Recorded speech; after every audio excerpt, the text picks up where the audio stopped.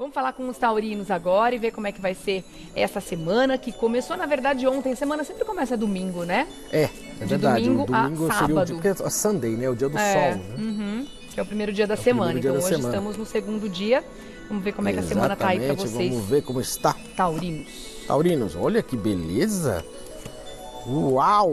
Muito bom, muito Nossa, bom, que muito bom. semana linda! Semana linda, maravilhosa, no amor aí, resplandecendo pra você, viu? Tendo uma, mais uma conotação muito positiva, muito tranquila. Surpresas vindo a caminho pra ti, tá? Você taurino, taurina, preste bem atenção enquanto você se coloca, como você se coloca pra, para o amor, né? Mostre-se, coloque-se à frente, tá?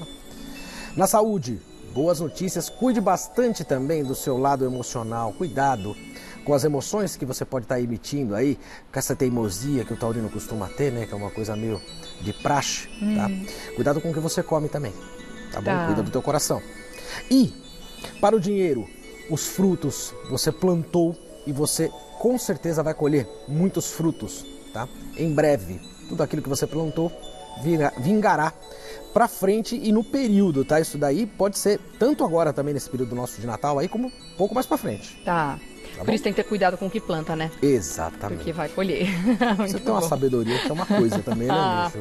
Ajuda bastante os terapeutas que passam por aqui, né? Ah, imagina que é isso. Tô aprendendo essas aulas que eu tenho semanais com vocês aqui, Ah, né? não, Ajuda a aguçar muito mais a intuição da gente.